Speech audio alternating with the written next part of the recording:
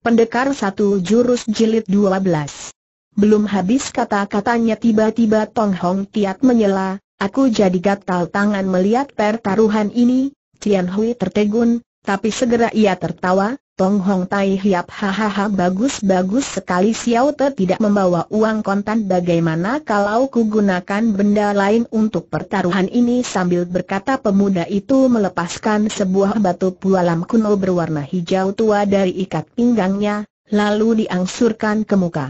Berturut-turut Tong Hong Heng Te yang lain pun maju untuk ikut bertaruh. Senyuman memang masih menghiasi bibir Cian Hui tapi senyuman itu sudah lebih mirip menyengir tak terkirakan rasa gelisahnya, tak disangkanya permainan yang semula hanya bertujuan untuk meramaikan suasana ternyata telah berubah menjadi serius. Dia melirik sekejap kelima macam benda mestika di meja itu, lalu masuk ke ruang dalam, ketika muncul kembali, ia membawa satu nampan penuh intan permata, suasana dalam ruangan jadi sepi seperti kuburan, semua orang mengalihkan perhatiannya ke arah Cian Hui dan mengikuti langkahnya setindak demi setindak. Di tengah keheningan itu, tiba-tiba suara gelak tertawa nyaring memecahkan kesunyian, ternyata Kim Kesyangiti yang terbahak-bahak, malahan sambil memukul meja dia berteriak sungguh menarik, Permainan ini benar beruar menarik sekali oh. Jadi Siang Heng juga berminat akan pertaruhan ini air muka Cian Hui agak berubah. Hahaha, akan menyesal selama hidupku bila orang sisi yang tidak ikut mengambil bagian dalam pertaruhan yang luar biasa ini dia menggapai keluar, dan sana lantas masuk sembilan orang laki-laki kekar berbaju warna-warni mereka berdiri tegak di hadapan si ayam emas. Kesembilan orang itu berperawakan kekar dan berotot, bersinar mata, tajam, penuh semangat dan cekatan, sekalipun bukan jagoan liai, tapi kungfu mereka tentu tidak lemah, kepada Kim Kesyangiti kesembilan orang itu memberi hormat, sedang kepada orang lain kelihayan bersikap angkuh. Terbahak-bahaklah Kim Kesyangiti hahaha, seperti juga kehidupanku yang serba aneh selama ini, Hari ini orang Sisyang juga ingin mengadakan suatu pertaruhan aneh dengan Cian Cheng Chu. Ia berhenti tertawa dan berpaling ke arah kesembilan orang itu lalu bertanya dengan suara berat, Eh, dari manakah datangnya jiwa raga kalian bersembilan tubuh milik ayam emas nyawa milik afam emas, bila ayam emas ada perintah, mati seratus kali juga tidak menyesal jawab kesembilan orang itu serentak. Cukup satu orang saja suaranya sudah nyaring, apalagi sembilan orang buka suara bersama demikian nyaringnya suara itu hingga seluruh ruangan bergetar keras, bahkan cawan dan mangkuk juga seakan-akan ikut berdentingan karena getaran itu. Kim Kesyangiti kembali terbahak-bahak katanya pula, taruhan yang akan kulakukan dengan Cian Cheng Chu ini tidak lain adalah nyawa kesembilan orang ini, Sin Jiu Cian Hui kaget, kawanan jago juga kaget. Di dunia ini mana ada pertaruhan seaneh ini, sementara itu Siang Itli telah melanjutkan kata-katanya, Cian Cheng Chu, engkau berbudi dan setia. Kawan, engkau juga seorang pemuka persilatan kukira orang yang bersedia jual nyawa bagi Cian Cheng Chu tentu tidak sedikit asal kau tampilkan sembilan orang, urusan kan menjadi beres suasana dalam ruangan kembali sunyi, Beratus pasang mata sama memandang Cian Hui dan ingin tahu bagaimanakah tanggapannya atas terantangan lawan. Dengan pandangan tajam, Cian Hui mengawasi wajah kesembilan orang itu satu demi satu, dilihatnya mereka tetap tenang, tiada rasa gelisah atau takut. Dengan dahi berkerut mendadak Liong Heng Pet yang tambeng berdiri pelahan, dihampirinya kesembilan orang itu katanya, dengan tegas. Jiwa manusia pemberian Tian dan tidak boleh dibuat permainan, benarkah kalian bersembilan rela mengorbankan jiwa? Kesembilan orang itu memandang jauh ke depan jangankan memandang si penanya, malah sikap mereka seakan-akan tak mendengar pertanyaan itu seperti juga mereka sengaja membungkam untuk menyindir sikap Tam Beng Veng suka mencampuri urusan orang. Eh, apa yang diucapkan Tam Chong Piao atau tidak kalian dengar bentak Kim ke Siang Iti tiba-tiba ia menutulkan ujung tongkatnya melayang ke depan dan plak piok. Suara tamparan berkumandang susul menyusup di antara berkelebatnya telapak tangan, Tahu-tahu dia sudah menghadiahkan 18 kali tamparan keras pada muka kesembilan orang itu.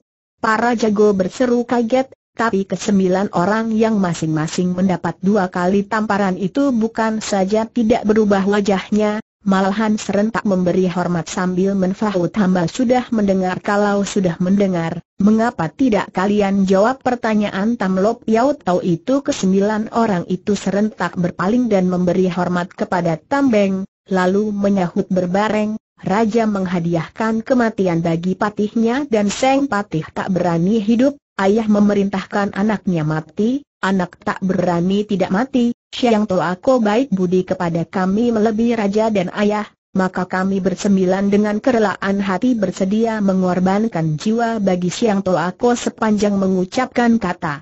Kata itu mereka bersembilan selalu membuka mulut bersama dan tutup mulut berbareng, jelas sudah terlatih dengan baik.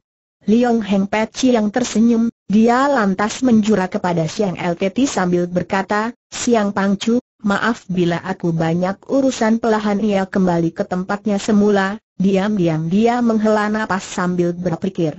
Tak kusangka manusia yang aneh dan licik ini juga mempunyai anak buah yang rela berkorban baginya dalam pada itu si ayam emas. Tambah bangga, ditatapnya Cian Hui yang sedang termenung itu lekat-lekat, Lalu katanya seraya tertawa, Cian Cheng Chu, apakah Hengka sedang memaki kesembilan saudara ekor ayamku ini terlalu goblok sehingga tidak setimpal untuk ditandingkan dengan anak buahmu ah? Perkataan Siang Pangcu terlalu berlebih-lebihan, Cian Hui tertawa tapi, kalau begitu, potong Siang Iti. Biarlah Cai Hai suruh kesembilan ekor ayam ini mendemonstrasikan sedikit kejelekannya di hadapan Cheng Chu. Sambil berpaling dia lantas memberi tanda pergi sana ke sembilan orang itu mengiyakan, sekejap saja seluruh halaman telah dipenuhi oleh kain warna-warni yang berkeliaran kian kemari, gerakan mereka lincah seperti kupu-kupu yang terbang di antara bunga, pada mulanya kawanan jago itu menyangka kesembilan orang itu sedang mendemonstrasikan kegesitan mereka, tapi mendadak terdengar suara bentakan, Menyusul kesembilan orang ini lantas berkumpul kembali di depan ruangan, hanya di tangan pemimpin mereka telah bertambah dengan sebatang toya besi. Bayangan mereka kembali berpisah, kesembilan orang itu memegangi ujung tongkat besi itu empat orang di sebelah kiri dan empat orang di sebelah kanan, ketika orang yang ada di tengah itu membentak lagi, orang-orang itu lantas membetot dan tongkat besi itu pun tertarik hingga makin panjang, gemuknya berubah seperti kawat, dari sini dapat terlihat betapa hebat tenaga betotan kedelapan orang itu. Putus bentak orang yang berada di tengah itu tiba-tiba, telapak tangannya lantas membacok ke bawah tongkat besi yang sudah berubah seperti kawat itu seketika juga patah jadi dua. Tepuk tangan dan sorak-sorai memuji bergema memenuhi seluruh ruangan, Kesembilan orang itu segera memberi hormat dan berjalan kembali ke hadapan siang itu air muka mereka tetap tenang. Terkesiap juga si tangan sakti Cian Hui, kendati pun kungfu kesembilan orang itu tergolong ilmu kasaran dan jauh kalau dibandingkan dengan jagoan Lukang, tapi ia pun menyadari bahwa anak buahnya yang bertenaga setaraf itu tak banyak jumlahnya. Meskipun dia tinggi hati namun tak sampai keblinger, sudah tentu dia tak mau mengorbankan sembilan anak buahnya dalam suatu pertaruhan yang belum tentu ada harapan untuk menang. Walaupun begitu ia juga harus menjaga harga diri, gengsi dan kedudukannya apalagi ditantang di depan umum, bagaimanapun juga dia tak dapat mengabaikan tantangan Kim Iti yang berbau ejekan itu. Sementara ia masih ragu-ragu, Liong Heng Bat Ei Ang Tam Beng berkata pula sambil tersenyum, Cian Cheng Chu, kalau engkau yakin bahwa kemenangan pasti berada pada pihakmu, sekalipun taruhan ini luar biasa, kenapa tidak ku terima tantangannya? Cian Hui terpojok, terpaksa ia menjawab dengan terbahak-bahak, hahaha, benar, benar sambil bertepuk tangan di lantas berpaling Ye U Peng, coba keluar dan lihatkan ada berapa orang saudara kita yang mau datang kemari Ye U Peng, Laki-laki baju hitam yang selalu berdiri di belakangnya itu segera mengiyakan dan mengundurkan diri dengan air muka yang agak berubah. Melihat itu, Kim Ke Siang Iti terbahak-bahak hahaha, orang sis yang paling gemar berjudi, baru hari ini betul-betul ketemu tandingannya Cian Hui tidak berkata apa-apa beruntun ia tenggak tiga cawan arak. Semua orang mulai gelisah dan tak tenang, mereka ingin tahu siapakah yang akan keluar sebagai pemenang dalam taruhan itu. Mereka pun ikut tegang bagi Cian Hui, malahan ada yang berpikir Kung Fu Hui Tai Sian Seng pasti lihai sekali, kalau tidak, Cian Sin Jiu yang cerdik masa berani bertaruh baginya. Semua orang saling pandang seolah-olah mereka pun terlibat dalam pertaruhan ini dengan jantung berdebar. Mereka memandang keluar pintu, mereka tak tahu harus menunggu berapa lama lagi dan apakah Hui Tai Sian Seng akan masuk kembali ke ruangan itu? Di mata sekian banyak orang hanya Cian Hui yang tak pernah menengok ke pintu walau hanya sekejap saja, Sebab dia tahu dengan jelas bahwa mengharapkan masuknya kembali Hui Tai Sian Seng melalui pintu tersebut sama dengan menantikan munculnya seekor ikan paus di daratan, hakikatnya tidak mungkin terjadi. Demikianlah, di tengah ketegangan itu, malam terasa tiba lebih cepat daripada hari biasa, cahaya lampu sudah menerangi seluruh ruangan. Tiba-tiba dan luar muncul sesosok bayangan, Suasana jadi semakin tegang, orang ingin tahu Wigiok yang muncul atau Lengkok Siang Gok yang kembali, tapi orang itu ternyata tak lain daripada Jit Giao Tui Hun Nahui Hong. Begitu melangkah masuk ke dalam ruangan dia lantas berseru sambil tertawa nyaring sungguh berbahaya, hampir saja aku ketinggalan dalam permainan yang menarik ini. Benar, benar jawab si ayam emas sambil berbangkit, Tampaknya hari ini Cian Cheng Chu sedang keranjingan bertaruh, bila Na Heng tidak ikut serta dalam pertaruhan ini, mungkin di kemudian hari kau tak akan menemukan lagi kesempatan bertaruh sebagus ini. Na Hui Hang tertawa, sebetulnya aku bukan seorang penjudi, tapi ketika mendengar kabar, kakiku seperti tiba-tiba tumbuh sayap dan tanpa kusadari terus berlari kemari.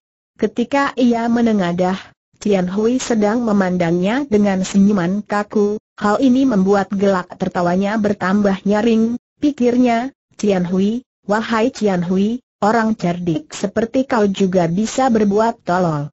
HMM, jika tidak ku bikin kau bangkrut, hehehe mulai detik ini jangan panggil aku sebagai Jit Giao Tui Hun.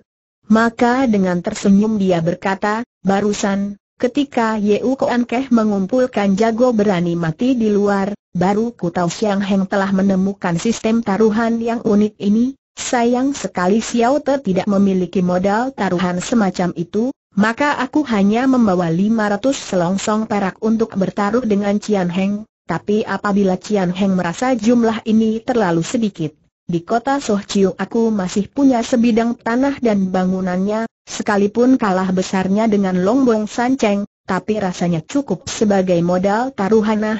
Biar ku sodorkan semua itu untuk bertaruh denganmu dia bicara dengan seenaknya, seakan-akan seorang anak nakal yang bertaruh dengan kacang saja.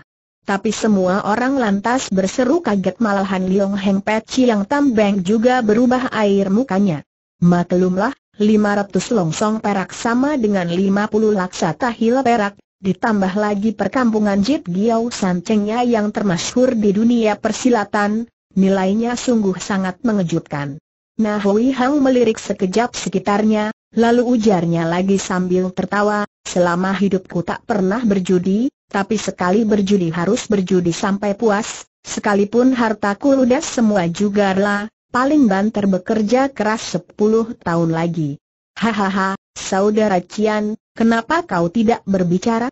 Cian Hui melengak seperti baru sadar dari impian dia ia berpaling dan tertawa, hahaha, meskipun taruhan yang ku selenggarakan ini hanya bersifat iseng, rupanya kalian semua telah bertaruh dengan sungguh-sungguh memangnya kau anggap taruhanku tidak sungguh-sungguhan, tanya Jit Giao Tuoi Hun dengan kurang senang. Meski Cian Hui masih bersenyum, tari sorot matanya penuh rasa benci, andai kata sinar matanya dapat melukai orang, mungkin Na Hui Hang sudah mati beberapa kali. Maklumlah, kalau taruhan tadi belum menjadi soal bagi Cian Hui, tapi taruhan Na Hui Hang sekarang cukup membuat seseorang menjadi bangkrut dan jatuh miskin, Sekalipun Cian Hui terhitung seorang tokoh Hok Lim yang kaya, tapi oleh karena dia sangat royal, maka tabungannya tidak seberapa banyak, dalam gudang paling banyak juga cuma tersedia hanya puluh laksa tahil perak.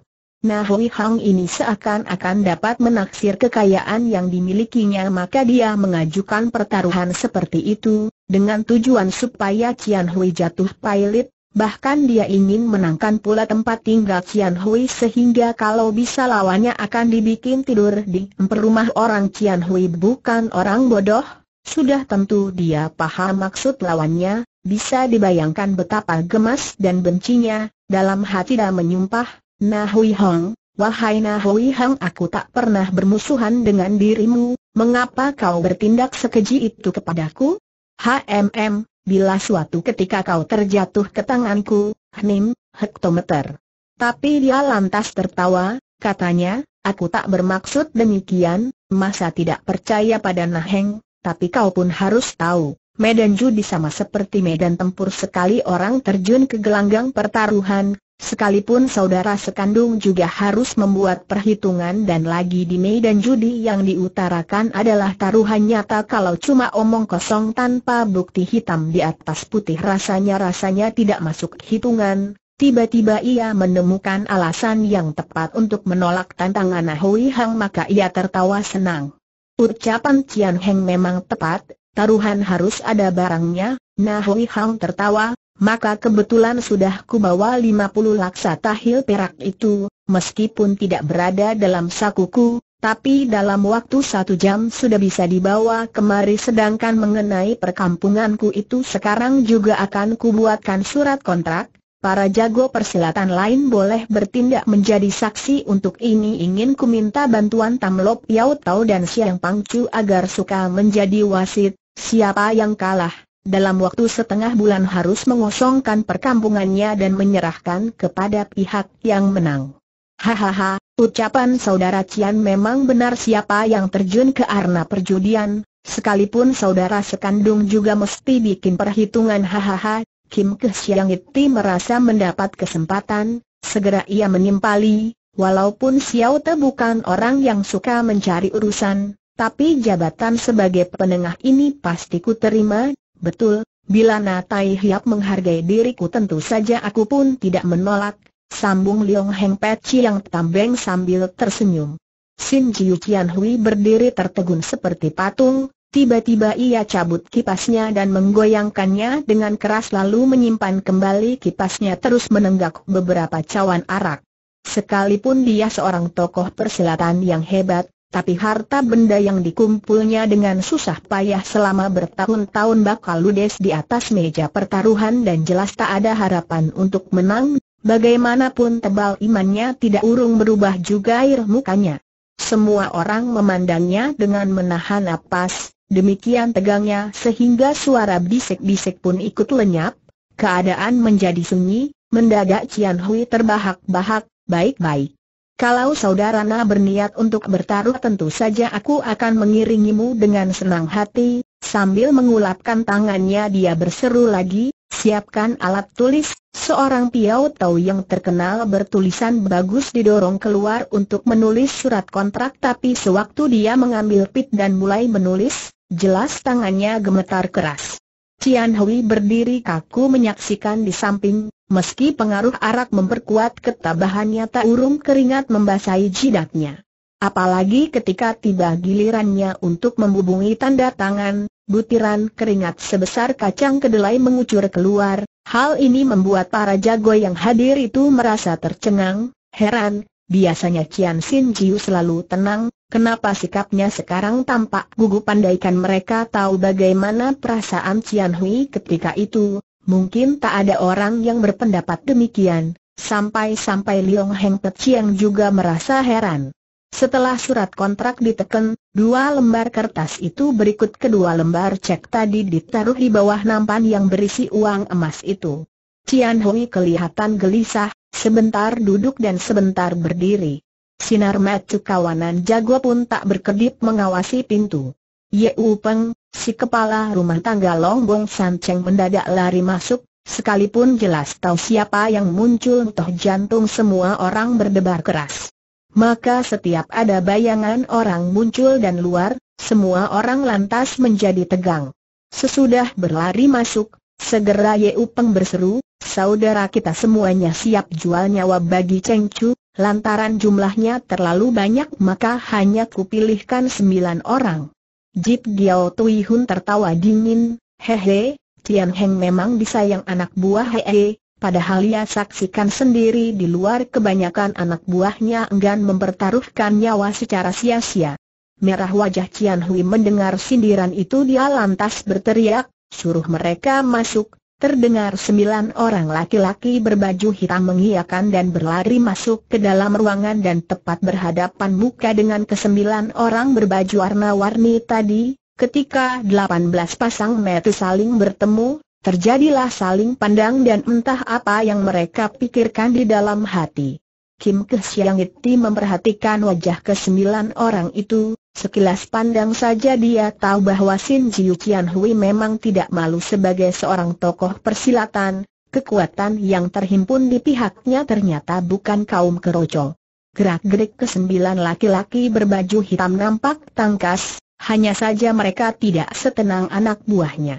Bagus, bagus, Tian Hui mengangguk berulang kali, dia berpaling dan membisikkan sesuatu kepada Ye Upeng.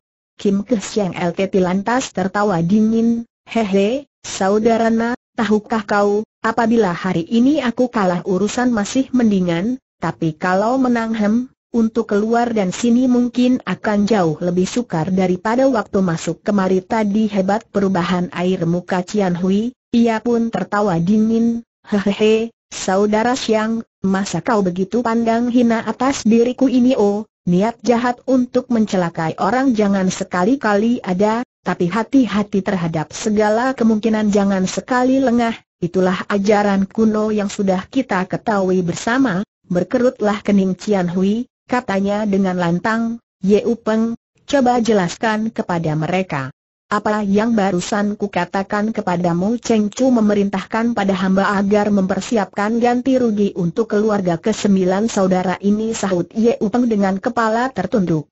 Mendadak Jit Giao Tui Hun terbahak-bahak hahaha, menang atau kalah belum jelas, kenapa Cian Heng malahan sudah mengharapkan kemenangan bagi orang lain dan melenyapkan wibawa pihak sendiri habis berkata kembali ia menengadah dan terbahak-bahak. Jip Giao Tong Chugo Beng Si juga ikut sedih meski ia tak senang pada sifat Cian Hui yang jelek tapi iba juga menyaksikan keadaannya dipandangnya sekejap barang taruhan di meja, lalu ditatapnya juga ke delapan belas orang itu kemudian ia berkata sambil menghela napas panjang, terlepas dari siapa yang akan menang, tapi selama hidup Cian Cheng Chu bisa bertaruh sebesar ini, Betapapun engkau harus merasa bangga Cian Hui tersenyum dengan perasaan berterima kasih, Go Xiao Hiap, belum lanjut ucapannya. Tiba-tiba dari samping berkumandang suara tertawa dingin yang tak enak didengar serentak para jago mengalihkan perhatian mereka ke arah sana. Ternyata suara tertawa dingin itu berasal dan Tambun Ki, putri kesayangan Liong Heng Pet yang Tambeng, di bawah cahaya lampu wajahnya yang jelita itu rada pucat tapi matanya yang hening tampak buram.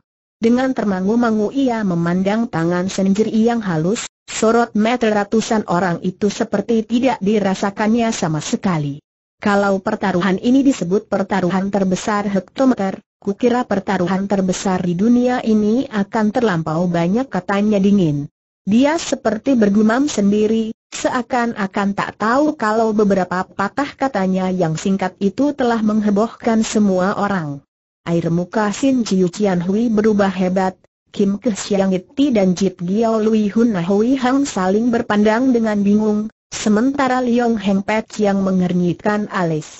Akhirnya Liong Ho Pet yang juga yang menegur putrinya, anak Ki, jangan sembarangan berbicara dia sangat menyayangi Bun Ki, betapapun ia merasa berat untuk mengomelinya di depan umum.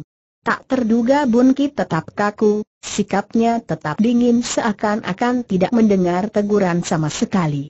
Jip Giao Tui Hun Hui Hang tak sabar lagi dia lantas berseru jadi maksud Nona Tam masih ada care, taruhan lain yang jauh lebih hebat ya, Benar gadis itu menyahut dengan dingin dan perlahan bangkit berdiri. Duduk kembali Tam BCNG membentak. Tapi keadaan Bunki sekarang bagaikan orang linglung, Pelahan ia menghampiri Sin Jiu Qian Hui. Tampaknya pemilik Longbong Sanceng ini pun terpengaruh oleh sikap si Nona yang aneh itu serunya, Nona Tam, kau titik. Aku hendak bertaruh sesuatu denganmu, barang taruhan itu jauh lebih berharga daripada benda apa pun, beranikah kau terima tantanganku ini sekali lagi Nah Hui Hang dan Siang Iti saling pandang, sorot match mereka terpancar rasa gembira yang meluap, Sementara para jagoy yang memenuhi ruangan itu pun ikut berdiri semua, malahan Tong Hong Girl Heng Te yang selama ini cuma berpeluk tangan belaka juga ikut bangkit, beratus pasang mata sama tertuju ke atas tubuh si Nona yang aneh itu. Dengan pandangan setengah bertanya Sin Jiu Qian Hui berpaling sekejap ke arah Tambeng.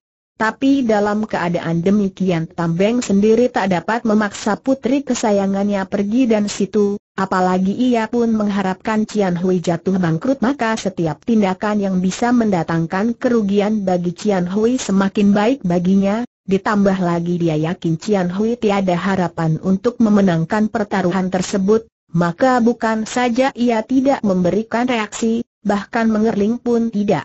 Dengan dingin Bun Ki menatap Cian Hui, Ketajaman matanya seperti seekor kucing di tengah kegelapan yang sedang memandang hina dan mengejek seekor tikus yang sudah tak berdaya. Karena terdesak, akhirnya Cian Hui menghela napas panjang, Nona kalau kau berminat untuk bertaruh, katakan saja apa barang taruhannya jika kau setuju bertaruh baru akan ku sebutkan bila Nona tidak menerangkan lebih dulu, dari mana orang Shikian bisa menjawab mau atau tidak menyaksikan kegugupan orang? Bun Ki tertawa dingin hehehe jadi kau tidak ada keberanian untuk menerima tantangan bertaruh dan seorang perempuan Cian Hui mengusap keringat yang membasahi jidatnya, tokoh persilatan yang tersohor ini entah sebab apa ternyata merinding menghadapi tantangan nona ini. Setelah termenung sebentar, tanyanya dengan gugup seandainya aku tidak memiliki benda itu, Kau pasti punya tukas bunki singkat. Kontan kawanan jago yang hadir di situ merasa jantung berdebar keras seakan-akan mau melompat keluar dan rongga dadanya. Dengan pandangan tajam Sin Jiu Qian Hiu menyapu pandang sekejap sekeliling ruangan, tiba-tiba ia membusungkan dada, ia pikir masa aku kena digertak oleh putri musuh bebuyutanku berpikir demikian, ia lantas berseru dengan tantang kalau begitu, baiklah. Apa pun yang hendak Nona pertaruhkan pasti akan ku terima. Di luar ia berkata demikian dalam hati ia berpikir bagaimanapun juga pertaruhan tadi sudah cukup untuk bikin aku bangkrut bila ditambah lagi juga tak menjadi soal Bunki tertawa dingin, hehe yang hendak ku pertaruhkan denganmu adalah, ia sengaja berhenti sebentar, matanya yang dingin itu menyapu pandang sekeliling ruangan. Semua orang menahan napas, Sementara Nona itu melanjutkan ucapannya sepatah demi sepatah yang hendak ku pertaruhkan adalah sepasang matamu kawanan jago yang menakut napas sering tak berseru kaget. Air muka Tambun Ki yang pucat tapi cantik masih tetap kaku tanpa perubahan katanya, lebih jauh dengan dingin, pertaruhan kita ini berakhir sampai tengah hari esok, pada waktu itu pertarungan antara Hui Giok dengan Lengkok Siang Gok tentu sudah berakhir begitu bukan dengan ragu Cian Hui menjawab dia, kukira, kukira memang begitulah perhatian Pura Jago kembali beralih ke wajah Tambun Ki, gadis itu berkata lagi dengan dingin pada saat Hui muncul kembali di ruangan ini kedua mataku segera akan kucukil keluar dan ku persembahkan kepadamu, tapi bila sebaliknya yang terjadi, hektometer, Sekalipun tidak kuterangkan tentunya kau pun tahu, kata itu diucapkan dengan suara dingin kaku tanpa emosi, seakan akan sepasang metu yang dipertaruhkannya itu bukan miliknya sendiri. Semua orang sama menarik napas dingin, kendati pun mereka adalah manusia yang mencari sesuap nasi di ujung golok, tapi sepanjang hidupnya belum pernah menemui seorang gadis sedingin itu, Segera ada yang melirik ke arah Liong Heng Chiang, mereka mengira Tambeng pasti akan terkejut setelah mendengar taruhan yang diajukan putri kesayangannya itu. Ternyata Tambeng tetap tenang saja, malahan ia duduk sambil mengelus jenggotnya, tentu saja tak seorang pun yang bisa menebak apa yang sedang dipikir tokoh persilatan ini. Tambeng bukan orang yang ceroboh, justru karena dia yakin Hui Giok pasti bukan tandingan lengkok siang bok, maka ia hanya membungkam saja, malahan kalau ada orang hendak bertaruh kepalanya juga dia akan menerimanya. Karena itulah ia tidak kaget atau menegur tindakan puterinya itu, malah diam-diam ia memuji kebagusan ide itu ia merasa gadis itu pandai memanfaatkan kesempatan, keenceran otaknya sedikit pun tidak di bawahnya. Padahal, tokoh persilatan yang tersohor ini mana dapat menebak isi hati puterinya yang sebenarnya. Hanya Jit Giao Tong Chugo Bengsi saja yang diam-diam menghela napas, pikirnya, ai, agaknya kepergian saudara Hui tadi telah sangat menyakiti hati nona ini, Andai kata dia menang, mungkin nona ini benar-benar akan mengorek keluar sepasang matanya, sebab ia sudah tak ingin berjumpa lagi dengan pemuda itu seperti orang yang kehilangan semangat. Lama sekali Sin Jiu Qian Hui berdiri termangu-mangu tapi akhirnya dia tertawa terkekeh-kekeh. Hehehe sebenarnya buat apa nona pertaruhan sepasang matamu itu dengan diriku? Ketahuilah bahwa sepasang mataku ini tidak seberapa berharga, tapi bila Hui Tai Sian Seng menang dan Nona harus mengorek matamu yang jeli itu, oh sungguh bikin hatiku tak tega. Hehehe bukankah begitu saudara sekalian ia berharap dengan kata dua yang ringan itu dapat menutupi perasaan sendiri yang tegang, ia pun berharap dengan kata dua itu bisa menggerakkan hati Tambun Ki agar membatalkan niatnya, selain daripada itu ia pun berharap bisa memancing simpati orang lain terhadapnya. Benarkah demikian, jengek Bun Ki, tiba-tiba air mukanya berubah hebat, serunya, andai kata Hui Giok menang, bukan saja mataku akan kukorek keluar lidahku juga akan kupotong, sebab aku tak sudi bertemu dan berbicara lagi dengan dia. Semua orang tercengang, siapa pun tak tahu apa sebabnya sikap nona itu mendadak berubah begitu. Hanya Jit Giao Tong Chugo Bengsi saja yang memahami duduknya perkara, hanya dia yang menghela napas penuh rasa iba. Karena dia tahu, gadis yang biasa dimanja, gadis yang berwatak keras dan suka menang itu, akhirnya mengutarakan juga perasaan yang sebenarnya. Waktu itu, perhatian semua orang dalam ruangan sama tertuju kepada Tambun Ki. Seorang orang-orang yang ada di halaman juga berkerumun ke depan pintu ruangan, beratus pasang mata, tertarik oleh si Nona, Siapa pun tidak memperhatikan bahwa dari luar diam-diam telah muncul sesosok bayangan, bayangan yang bergeser perlahan seperti badan halus. Karena ucapan Tambun Kitu, dia telah menghentikan langkahnya, lantaran ucapan si gadis pula ia menghela napas sedih, bintang yang bertaburan di angkasa, cahaya lampu dalam ruangan menyinari raut wajahnya. Itulah wajah yang pucat, Wajah yang putih seperti wajah badan halus ia berdiri ragu di luar pintu lama dan lama sekali. Akhirnya dia membusungkan dada, ia menyisihkan kerumunan orang di sekitar pintu dan perlahan masuk ke dalam ruangan. Semua orang yang berada dalam ruangan masih memandangi Tambun Ki dengan kesima, kemudian entah siapa yang mulai dulu, tiba-tiba terdengar jeritan kaget memecah kesunyian. Hui, hui, walau hanya satu kata, tapi daya teriaknya jauh melebihi berita dunia kiamat, pandangan setiap orang, termasuk juga Tambun Ki, seperti orang kena sihir, semuanya beralih ke arah pintu. Orang yang berkerumun waktu itu sudah menyingkir seperti kena tenung, dalam sekejap terbukalah sebuah jalan lewat yang lebar. Lalu seorang pelahan berjalan masuk melalui jalan yang lebar dan lengang itu. Meski langkahnya sangat pelahan tapi suara langkah kakinya yang pelahan seolah-olah berubah menjadi suara kapak raksasa yang membelah bukit menggetar hati mereka. Setelah keheningan, akhirnya meledak sorak-sorai yang gegap gempita, beratus orang serentak berseru.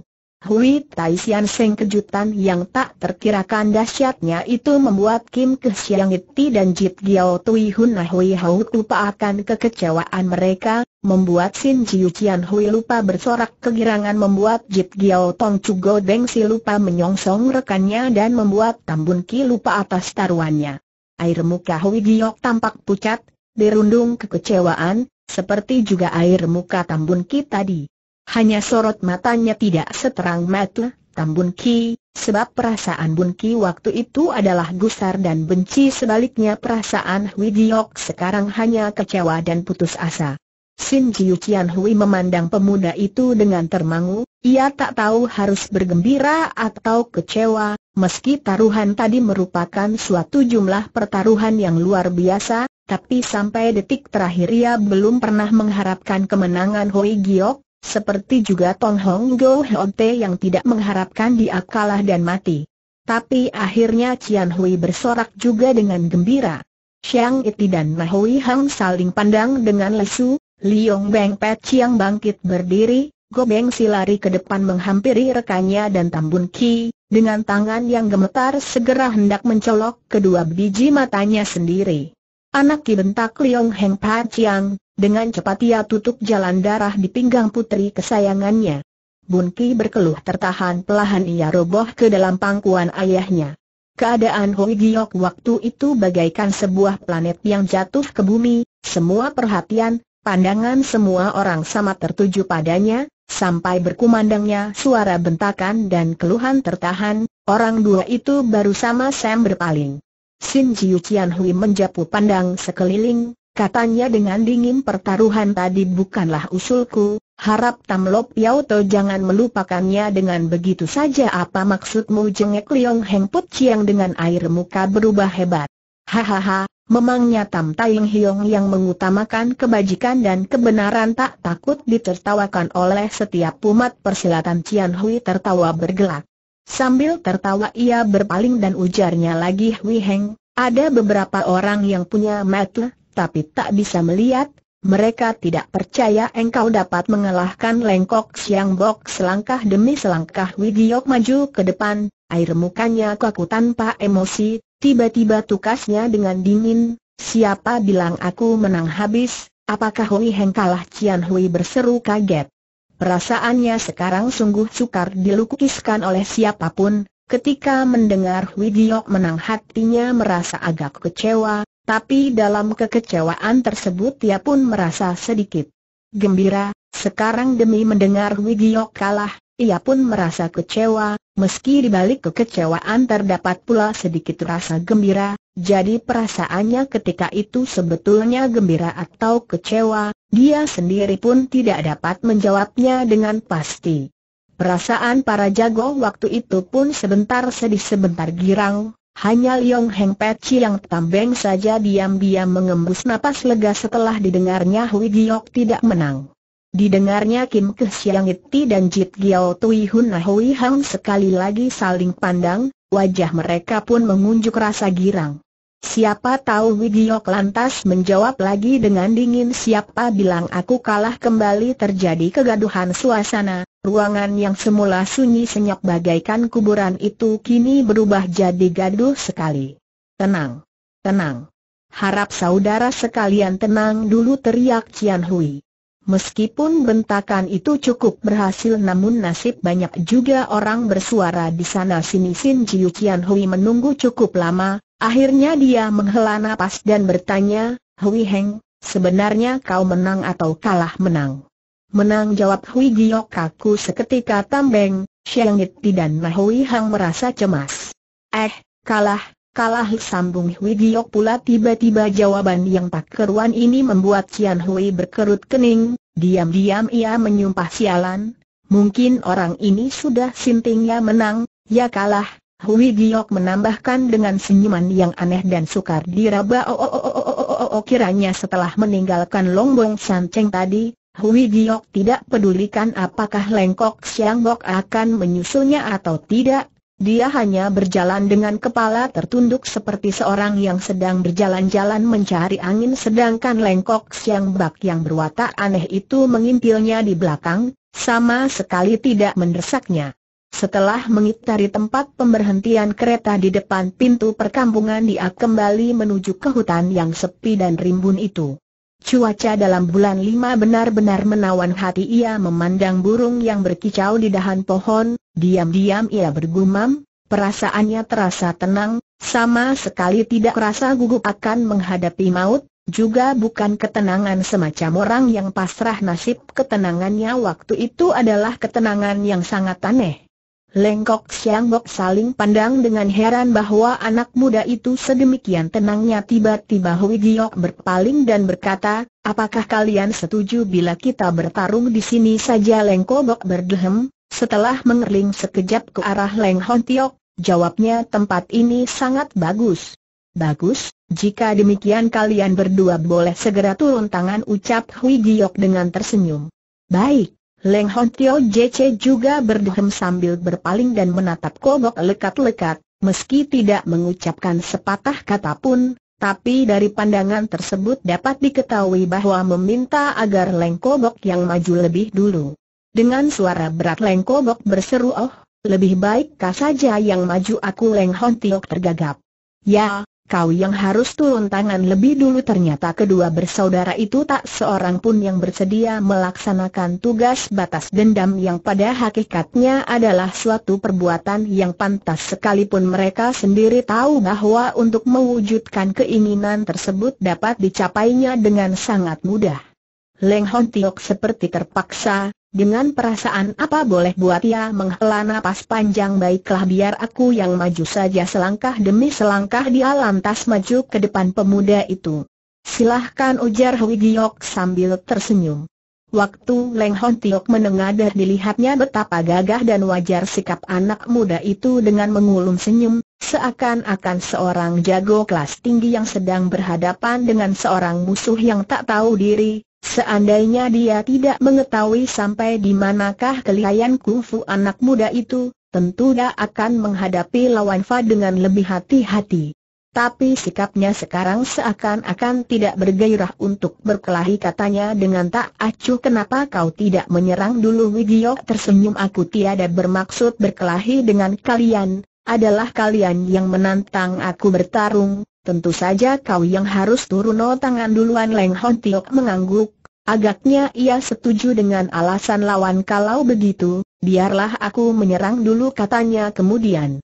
Setelah berdehem, dia maju selangkah ke muka, lalu ayun telapak tangannya dan memukul pemuda itu, serangannya ini sama sekali tak bertenaga, bahkan arah serangan dan ketepatan waktu juga tidak diperhatikan seperti seorang ibu yang enggan memukul putra-putrinya, yang ia sendiri sebenarnya sayang untuk memukulnya. Hui Giok tertegun dia angkat tangannya untuk menangkis, Leng Hon Tiok pun menarik kembali serangannya, lalu mengangkat tangan yang lain untuk memukul lagi dengan tak bersemangat. Hui Giok melenggong tapi ia menangkis juga dengan pelahan seperti apa yang dilakukan semula. Leng Hon Tiok ganti tangan dan memukul lagi tanpa semangat. Hui Giok mundur selangkah, sekali ini ia pun enggan menangkis. Eh, Kenapa tidak kau balas seranganku Leng Hon Tiok segera berteriak. Bukankah sudah ku lepaskan serangan balasan sahut Hui Giok? Segera ia melancarkan suatu pukulan balasan.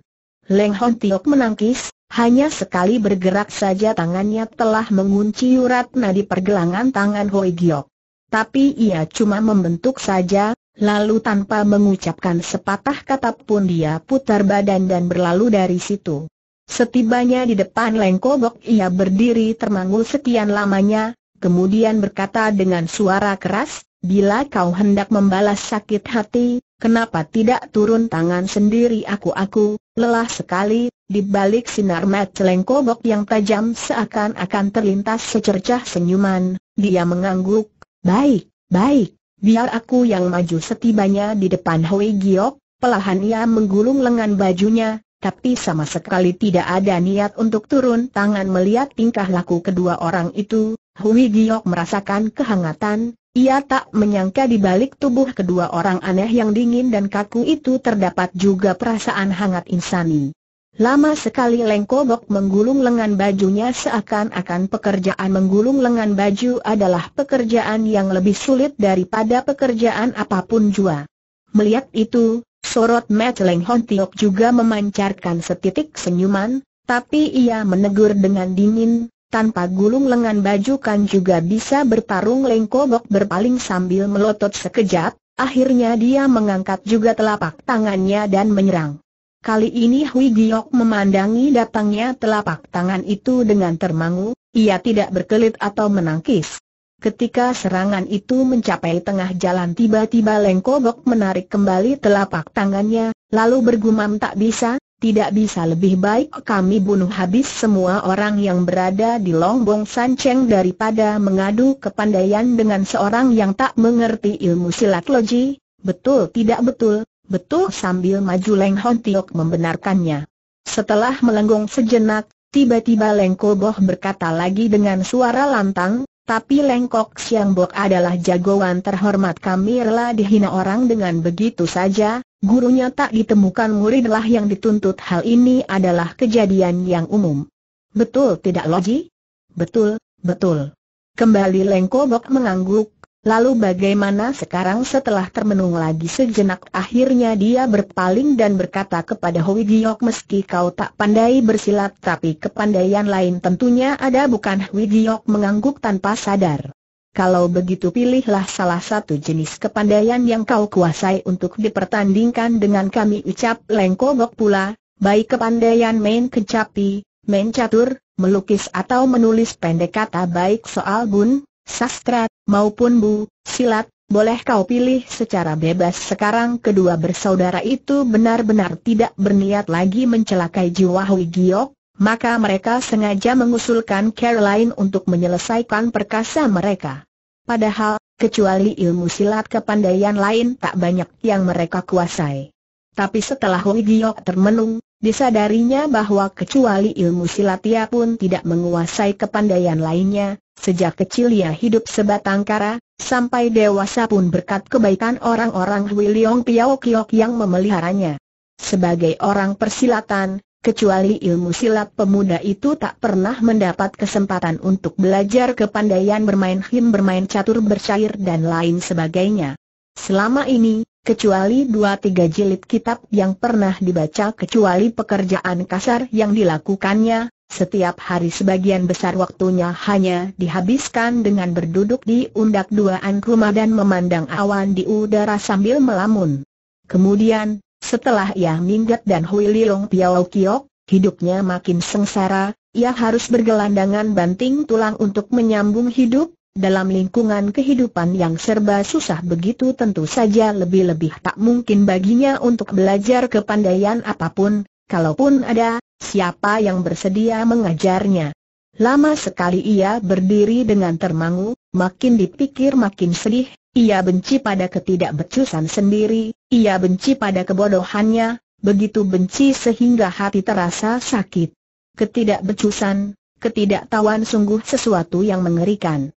Tak aneh kalau pemuda itu membenci terhadap diri sendiri, tapi pemuda itu melupakan sesuatu, bahwa meski dia tidak memiliki kepandaian dan pengetahuan seperti orang lain, sebenarnya ia memiliki sebuah hati yang bajik dan bijak.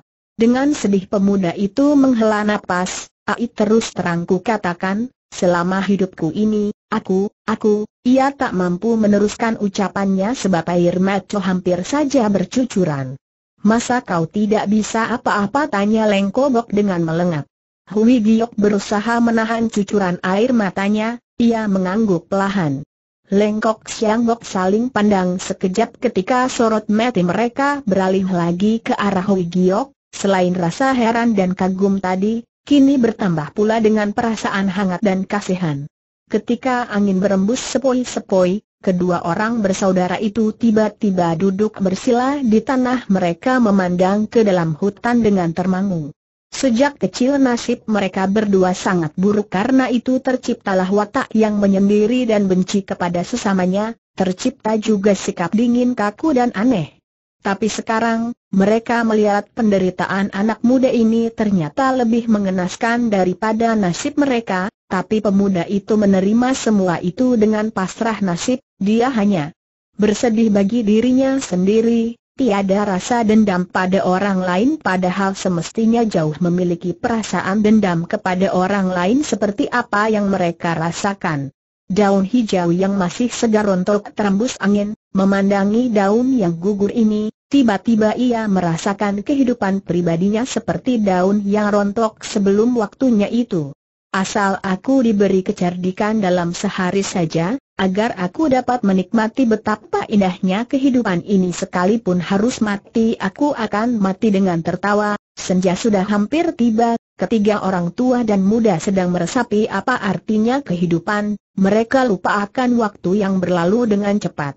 Ketika terdengar bunyi burung gagak yang tebang kembali ke sarangnya, tiba-tiba satu ingatan terlintas dalam benak Leng Hon Tiok wajahnya yang dingin kaku menampilkan rasa gembira. Akhirnya dia teringat pada sesuatu masalah yang menggirangkan. Malam pun menyelimuti bumi, bintang bertebaran melancarkan sinarnya yang redup. Dengan wajah berseri Leng Hon Tiok berpaling. Apa yang kau girangkan Leng Kobok menegur dengan dingin. Jika kita tak dapat beradu silat dengan dia, kita pun tak dapat mengampuni dia dengan begitu saja, teriak Leng Hon Tiok. Tapi selain ilmu silat dia tak bisa apa-apa, ya benar, Leng Kobok menjawab dengan tak bersemangat aku tak habis mengerti, urusan apa yang membuat hatimu bergirang sekarang aku berhasil menemukan satu cara yang sangat bagus sekali ucap Leng Hon Tiok dengan tersenyum. Ia bangkit dan menepuk pelahan bahu Hui Giok, katanya lebih jauh, kulihat meski usiamu masih muda, tapi perkataanmu sangat jujur tak nanti kau berbohong bukan dengan tercengang Giok menengadah, Selamanya ini belum pernah berbohong katanya dengan tergagap. Bagus Leng Hantiok mengangguk tentunya kau pun benar-benar tak bisa apa-apa bukan kembali Giok mengangguk sedih. Walau begitu, kami tetap akan bertanding denganmu ujar Leng Hontiok lebih jauh, bila kau kalah bertaruh, maka sebagaimana mestinya kau harus membayar penghinaan yang pernah dilakukan gurumu terhadap kami itu, Hui Giok membusungkan dada, tapi sebelum menjawab, Leng Kobok berkerut dahi sedang Leng Hon Tiok tersenyum, tiba-tiba katanya lagi. Sejak hari ini, setiap waktu setiap saat kami akan mengajarkan pelbagai kepandaian padamu, jika kau tak dapat mempelajarinya dalam waktu paling singkat, maka kaulah yang kalah dalam pertaruhan ini. Leng Kobok berkerut kening pula, sedang Wigiok dengan wajah berseri segera berteriak benarkah itu? Senyum yang semula menghiasi wajah Leng Hon Tiok tiba-tiba berubah dingin dan kaku pula katanya lagi, jangan keburu senang dulu, tidak gampang urusan ini dikerjakan. Ketahuilah pelajaran yang hendak kami ajarkan bukan melulu ilmu silat saja tapi termasuk juga kepandaian lain seperti memetik him, bermain catur, membuat sajak dan melukis pokoknya semua kepandaian yang kami ajarkan harus dapat kau kuasai dalam waktu paling singkat, kalau tidak maka siksaan dan penderitaan yang akan kau terima mungkin lebih parah daripada apa yang kau bayangkan sekarang. Hui Giok berpaling ia tahu hati kedua orang ini tidak sedingin wajah mereka, apalagi dengan menggunakan kesempatan itu mereka bermaksud merangsang semangatnya agar maju ke depan. Siapa yang akan percaya kalau kehangatan semacam ini muncul dari Lengkok Siang Bok yang termasyhur? Betapapun pemuda itu merasa berterima kasih dan juga gembira di samping rasa khawatir, ia tak tahu apakah dengan kebodohannya, dapat mempelajari pengetahuan baru itu. Lengkok Siang Bok saling pandang sekejap, lalu berkatalah Leng Hon Tiok, Bersediakah kau menerima cara bertanding semacam itu sedapat mungkin Hui Giok mengendalikan pergolakan perasaannya, sebab dia tak ingin menunjukkan rasa gembira dan terima kasihnya di hadapan kedua orang aneh ini. Baik katanya kemudian, walaupun hanya sepatah kata, namun di situlah seluruh perasaannya dilimpahkan keluar. Kalau begitu, mulai sekarang kau harus ikut kami, kata Leng Kobok. Ya, Aku tahu anak muda itu mengangguk. Adakah urusan yang perlu kau selesaikan dulu di Longbong Sam Cheng Leng Hon Tiok bertanya. Sebenarnya Hui Giok ingin mengatakan tidak ada sebab ia hanya sebatang kara, tiada sanak tanpa keluarga. Tapi kemudian ketika ia teringat akan kekhawatiran Go Beng Si dan Tambun Ki atas dirinya, segera sahutnya harap kalian tunggu sejenak di sini, Sebentar aku akan kembali pergilah pemuda itu diiringi pandangan lengkok Siang Bok dengan senyuman hangat. Aku merasa kehidupan kita belakangan ini terlalu kesepian, kata Lengko Bok kemudian sambil tersenyum, memang ada baiknya kalau kita bawa serta bocah ini ia tidak punya sanak tanpa keluarga, lagi pula seorang anak laki-laki, berbeda dengan Bun Ki, meski dia seorang anak baik, Namun sayang banyak peraturan mengalangi hubungan kita dengan dia bukan cuma begitu saja, sambung Leng Hon Tiok sambil tersenyum kita pun dapat menyelamatkan bocah itu dari rencana busuk si Cian Hui. Bayangkan sendiri, mereka telah mengangkat seorang bocah seperti dia menjadi Kang Lambeng Cu mustahil dibalik semua itu tiada rencana busuk namanya kulihat bocah itu seorang yang berbakat tentu banyak yang bisa dia pelajari selama mengikuti kita berdua. Leng Kobok termenung sejenak, lalu berkata padahal, kalau kita tinjau dari watak serta caranya menghadapi orang, bocah itu memang lebih cocok menjadi Lok Lim Beng Chu daripada siapa pun jua, Ya dia memang cocok menjadi bengcu tukas Leng Hantiok, sayang dia terlalu ramah, terlalu bajik, mana bisa menghadapi kelicikan manusia dua licin itu? Tiba-tiba Leng Kobok tertawa, tahukah kau betapa licik dan busuknya suatu rencana keji mungkin berguna terhadap orang lain tapi di hadapan kebajikan dan kemuliaan, kebusukan itu justru akan musnah dengan sendirinya, ibaratnya. Ibaratnya, ia merenung sesaat rupanya sedang putar otak untuk mencari ungkapan yang dirasakan paling cocok. Ibaratnya salju bertemu dengan matahari maksudmu sambung Leng Hon Tiok sambil tertawa ya, betul Leng Kobok ikut tertawa, ibaratnya salju bertemu matahari. Tiba dua mereka teringat akan sesuatu, bukankah hati mereka yang dingin dan beku dibuat cair setelah berjumpa dengan Hui Gio? Senyum yang menghiasi wajah mereka pun tambah cerah. Pembicaraan mereka berdua di depan orang dan pada waktu tiada orang lain memang sangat berbeda, sayang Hui Giok telah pergi jauh dan tidak mendengar apa yang mereka bicarakan. Dengan langkah lebar dan penuh kegembiraan anak muda itu meneruskan perjalanan teringat akan betapa banyak pengetahuan baru yang akan didapatkan ingin rasanya kakinya bersayap sehingga perjalanan bisa dilakukan secepatnya. Angin malam di bulan lima terasa sejuk dan nyaman, semua peristiwa yang tidak menyenangkan seolah-olah ikut menjadi buyar musnah mengikuti embusan angin itu. Terhadap kesedihan, ketidakberuntungan dan sakit hati ia paling mudah melupakannya mungkin hal ini dikarenakan ia masih muda, memiliki hati yang bajit dan bijak. Ketika memasuki perkampungan Long Hon Sanceng, ia temukan suasana yang begitu tenang begitu hening, walau kereta dan kuda masih memenuhi di luar pintu perkampungan namun keheningan yang mencekam terasa sangat aneh, terasa begitu banyak manusia yang berjubel di depan pintu ruangan. Dia heran, apa gerangan yang terjadi di dalam peristiwa apa yang sedang berlangsung di situ. Seketika suatu perasaan tak enak timbul dalam hatinya, tiba-tiba ia mendengar suara Tambun Ki, mendengar perkataannya yang menyakitkan hati meski ia suka memaafkan kesalahan orang lain, Meski ia dapat menahan penderitaan namun ucapan Tambun Ki yang tak berperasaan itu dirasakannya seakan dua berpuluh batang jarum tajam menancap di hatinya.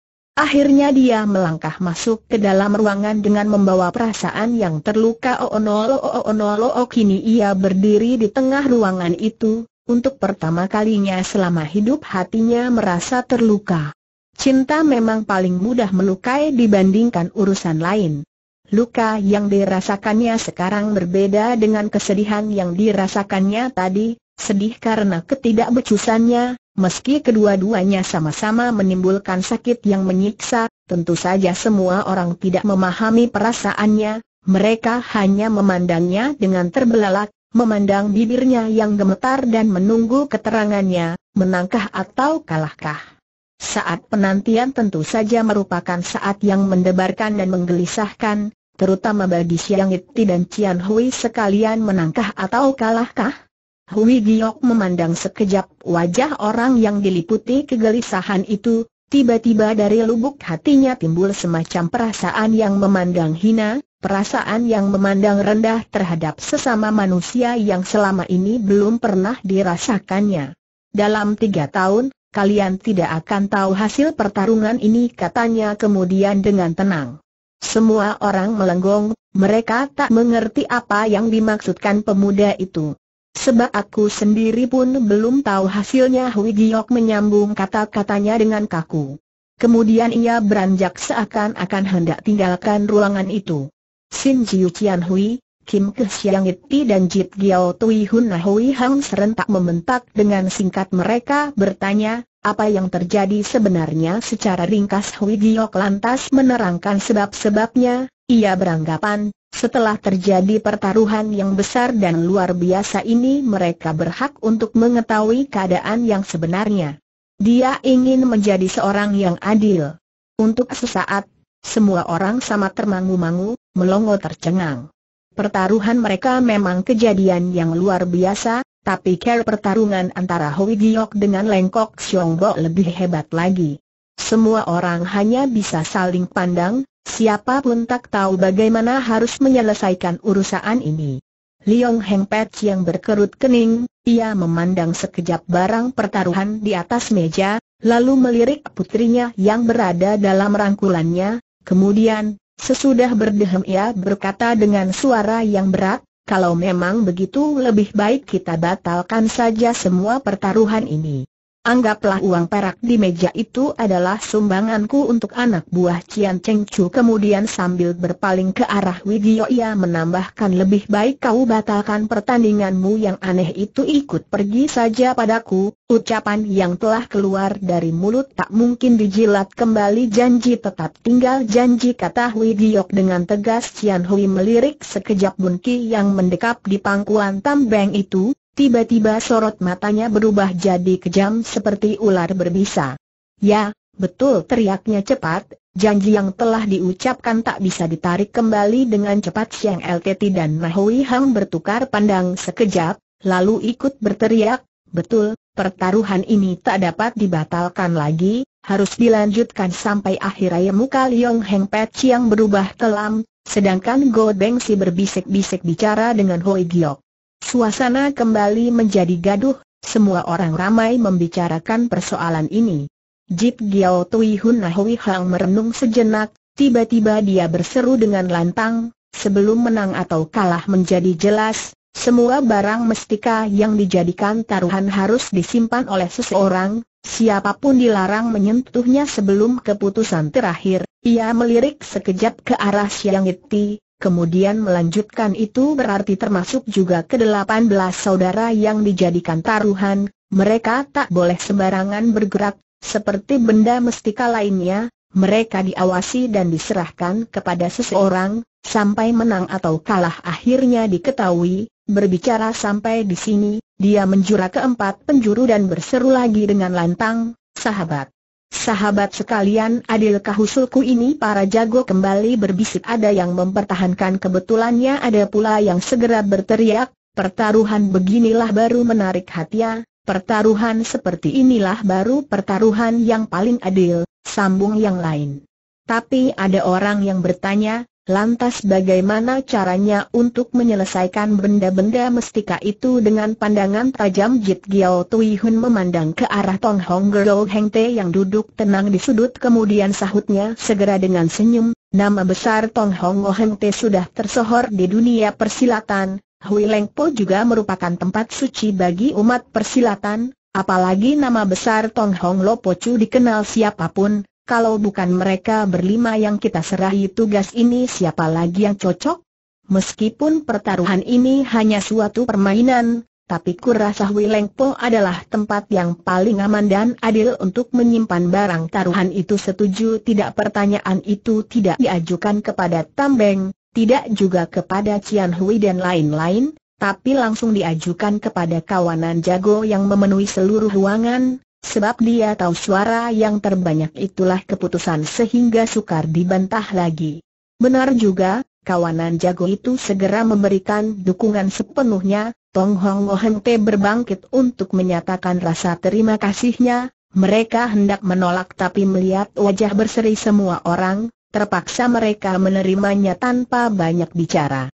Keadaan Sin Jiu Chian Hui paling serba salah waktu itu, ia merasa dirinya betul-betul mencari penyakit buat diri sendiri tapi nasi sudah menjadi bubur, terpaksa sambil bertepuk tangan ia berseru dengan lantang, kalau begitu, lantas bagaimana dengan pertaruhan nona tam air muka Liong Heng Peci yang tambeng berubah hebat, cepat ia menyela, dia masih muda, Masa perkataannya yang melantur juga kalian anggap sungguh-sungguh jika dia bicara melantur mengapa Tam Piao Tau tidak mencoba untuk mengalanginya tadi tukas sebelum masih Hijiu Cian Hui dengan ketus, apakah lantaran tadi Tam Lop Piao Tau yakin benar akan menang, maka sengaja membungkam dan sekarang setelah tiada keyakinan untuk menang lantas ingin memungkir ucapannya?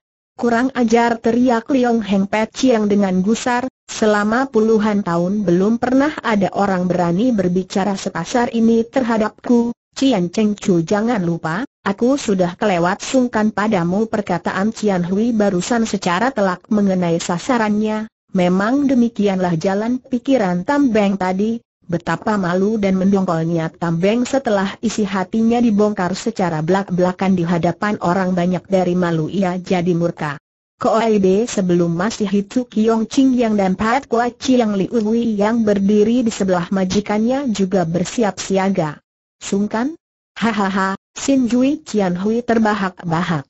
Hehehe, tentunya para hadirin mendengar apa yang telah diucapkan Tam Lop Yao Tau yang berbudi luhur dan dapat pegang janji ini di tengah heboh terdengarlah suara ejekan berkumandang dan sana-sini, suasana bertambah panas. Seperti diketahui sebagian besar jago yang hadir dalam pertemuan ini adalah jago-jago dan kalangan lokling, tentu saja mereka berada di pihak yang memusuhi Lilong Heng Pet Chiang Tambeng sebagai seorang jago kawakan, Tambeng sendiri memaklumi situasi yang dihadapinya sekarang. Selagi ia hendak mengucapkan sesuatu, Xiang Yiti dan Mahui Hang tiba-tiba membentak Hui Heng, Harap tunggu sebentar rupanya di tengah kegaduhan itu secara ringkas Hui Giok lelah mengutarakan isi hatinya kepada Gombeng si ia merasa tempat itu tiada sesuatu yang pantas dikenang lagi, lalu ia hendak tinggal pergi. Xiang Itli menutul tongkat besinya dan melayang ke udara, dengan suatu gerakan cepat ia menghadang jalan pergi pemuda itu. Apa yang hendak kau lakukan tegur Hui Giok ketus. Meski dia seorang pemuda yang baik hati, tapi hadiah pukulan Siang Iti tempo hari belum dilupakannya sekalipun ia berusaha tidak mengingatnya lagi. Dalam keadaan seperti ini, Kim Ke Siang Iti tak berani unjuk sikap kurang hormat ia merenung sejenak, lalu menjura, katanya. Jika Anda pergi, bagaimana caranya kami dapat mengetahui hasil pertarunganmu nanti jika aku tidak pergi, Bagaimana pula menang kalah bisa ditentukan Wigiok balik bertanya dengan dingin. Sementara Siang LTC dibikin melenggong, Hui Giok terus lewat di sampingnya dan keluar dari ruangan itu. Setelah menang kalah diketahui kalian tentu akan mendapat kabar tersebut, terdengar suara yang lembut nyaring berkumandang dari luar pintu. Beberapa orang bermaksud menyusul pemuda itu, tapi Sin Jiu Chian Hui segera menghardik, Siapa berani berbuat kurang ajar terhadap Beng Chu? Meskipun bentakan itu nyaring berwibawa, pada hakikatnya dalam hati ia sangat berharap Hui Giok dapat cepat-cepat pergi dari situ. Si ayam emas yang itu termangu sejenak, tiba-tiba ia berteriak pula, bagaimanapun juga tetap akan kukirim orang untuk mengikuti jejaknya, ya, benar Jit Giao Tui Hun Hui Hang ikut berseru aku juga akan berbuat demikian, Sin Jiu Qian Hui merenung sebentar, lalu menjawab, kalau begitu, lebih baik kita masing-masing mengirim seorang utusan untuk mengikuti jejaknya, dengan begitu kita pun akan lebih cepat mengetahui hasil pertarungannya. Berbicara sampai di sini sorot matanya pertama-tama dialihkan ke arah Tong Hong Gerlo Heng Te untuk menanyakan pendapatnya, terpaksa kelima bersaudara itu mengangguk perlahan. Agak lega Sin Jiu Chian Hui setelah mengetahui bahwa kelima bersaudara itu tidak berdiri di pihak Tambeng, maka ujarnya lagi dengan dingin bagaimana pendapat Tam Lop Yau Tau Tambeng tertawa dingin sombong amat ucapanmu sekarang, jangan kau kira aku sudah jatuh di bawah kekuasaanmu hahaha, si tangan sakti tertawa, aku tak berani berniat demikian tapi fakta berbicara demikian. Liong Heng Pet Chiang Tam Beng memandang sekejap sekitar tempat itu lalu ia pun bergelak, hahaha, sudah puluhan tahun aku malang melintang di dunia persilatan memangnya kau anggap hari ini aku datang ke Longbong Sanceng ini tanpa persiapan ketika ia mulai bergelak Cian Hui berhenti tertawa, Tertampak Liong Heng Pat Krang menyapu pandang seluruh ruangan dengan sorot matanya yang tajam berkilat. Cian Hui serunya lebih jauh, dengan care apa kau sambut kedatanganku dengan care yang sama pula kau harus mengantar kepergianku kalau tidak, aku akan membuat longbong sanceng ini banjir darah dan berubah menjadi puing-puing tokoh persilatan ini tadi bersikap halus. Dengan bicara keras, sikapnya jadi lebih kering, lebih berwibawa dan membuat orang kedar. Air muka Sin Jiu Qian Hui berubah sedingin es bayangan orang berseliweran di luar sana menjadi tegang. Pelahan Tong Hong Gerdo Heng Te bangkit berdiri suasana dalam ruangan seketika tenggelam dalam keheningan yang luar biasa, entah berapa banyak tangan yang secara diam-diam meraba senjata masing-masing. Di antara sekian banyak jago, hanya Jit Giao Tau Go Bengsi saja yang tetap tersenyum, diam-diam ia menyelinap keluar ruangan tatkala suasana berubah tegang. Liong Heng Pet Chiang Tam Beng memondong putri kesayangannya yang tertidur nyenyak karena tutukannya tadi, ia menyapu pandang sekejap ke arah kawanan jago ini dengan sorot mata dingin dan sikapnya yang amis dan angkuh dapat ditarik kesimpulan bahwa dia tak pandang sebelah mata, terhadap ratusan jago yang berkumpul di situ. Sinar matanya yang dingin berubah menjadi lembut tak kala tertuju ke wajah putri kesayangannya, walaupun perawakan yang kekar sudah termakan usia, tapi masih tetap sekeras baja, siapa pun tak dapat menebak berapa besar kekuatan yang tersimpan di dalam tubuh yang tegak itu. Air muka Sin Jiu Qian Hui tampak kelam, dari sorot matanya jelas dia sedang mempertimbangkan sesuatu, yaitu harus Cian, perang, atau Hui, kabur. Sebelum keputusannya diambil, siapa pun tak tahu bagaimana kejadian selanjutnya. Suasana yang hening dan tegang tak berlangsung lama, tapi bagi pandangan semua orang, masa tersebut adalah masa yang terpanjang dalam hidup mereka. Air muka Sin Jiu Qian kelihatan tenang tapi diam-diam lagi berpikir meninjau dan situasi sekarang ini, kekuatan musuh jauh lebih lemah daripada kekuatan kami, Tong Hong Inggo Heng Te bisa jadi berpihak pada mereka, namun kehadiran mereka juga tidak berarti suatu bantuan besar baginya.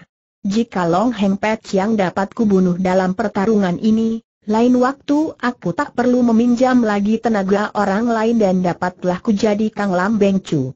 Waktu itu pengaruh Hawi Leong Piao Kiok otomatis akan runtuh, apalagi sekarang adalah kesempatan yang paling baik bagiku untuk membunuhnya, orang persilatan tak akan menyalahkan diriku karena peristiwa ini, jika aku tetap sangsi untuk mengambil keputusan, Kesempatan baik ini sukar didapat lagi di kemudian hari. Tangannya mengepal semakin kencang matanya memancarkan cahaya makin tajam, tapi ingatan lain segera melintas dalam benaknya, tapi sampai sekarang sikap Liong Heng Pet yang tetap tenang sekalipun orang yang memiliki ilmu silat tinggi tentu juga akan keder berhadapan dengan lawan begini banyak serta jago panah yang siap di luar halaman.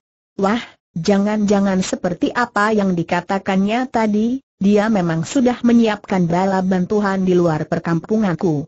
Kepalanya makin mengendor, sinar matanya ikut menjadi pudar pikirnya lebih jauh konon ilmu silat Liong Heng Peci yang lihainya bukan kepalang, sekalipun dia bakal mampus di sini bila dia sudah berniat beradu jiwa denganku, rasanya sulit bagiku untuk melepaskan diri dari bencana. Berpikir sampai di sini, Semangat tempur makin kendur, dia lantas memutuskan untuk mengalihkan situasi tegang itu dengan kata-kata yang lain. Tapi, sebelum dia berucap di pihak lain Jit Giao Tui Hun Hui Hang telah mengalihkan pandangnya ke tengah harna, Selain siap sedia menghadapi musuh ia pun memperhatikan situasi di hadapannya dan berpikir sepintas lalu posisi Sin Jiu Qian Hui seakan dua lebih tangguh tapi sesungguhnya posisi Liong Heng Pet yang juga tidak lemah, sebab itulah kedua pihak terus ngotot sampai sekarang. Qian Hui tak berani bergerak disebabkan khawatir bala bantuan tersembunyi dan Liong Heng Pat Chiang, Mungkin ia pun diri terhadap kungfu musuh yang luar biasa dan khawatir dalam keadaan terdesak mengajak adu jiwa padanya. Tapi bagaimana dengan aku segenap kekuatan intiku tidak berada di sini, tujuan lawan juga bukan diriku setiap saat aku bisa kabur saja dari sini. Berpikir demikian ia lantas tertawa dingin, pikirnya lebih lanjut kalau posisinya menguntungkan bagiku, kenapa tidak kumanfaatkan kesempatan ini untuk mengadu domba mereka hingga kedua belah pihak sama-sama hancur berantakan. Siapa yang menang atau kalah bagiku hanya ada keuntungan dan tanpa ada kerugian apa yang meski kutunggu pula hawa nafsu membunuh segera terpancar dari matanya, diam-diam dia sudah mengambil keputusan. Dalam pada itu Liong Heng Peci yang tambeng tetap bersikap tenang, tangan yang satu digunakan merangkul putrinya, sedang tangan yang lain seakan-akan sudah siap dengan kekuatan penuh untuk melancarkan serangan. Kakek yang perkasa itu pun sedang berpikir jika ditinjau situasi sekarang, Sin Jiu Chian Hui pasti tak berani berbuat sesuatu padaku di tempat ini, dia licik dan bisa berpikir panjang, tak nanti dia mau jadi orang berdosa dunia persilatan.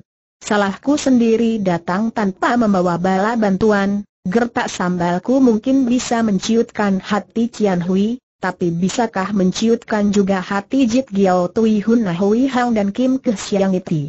Di dalam keadaan seperti ini mereka pasti ingin menarik keuntungan secara tidak langsung, mereka tentu berharap terjadinya suatu pertumpahan darah di antara kami berdua.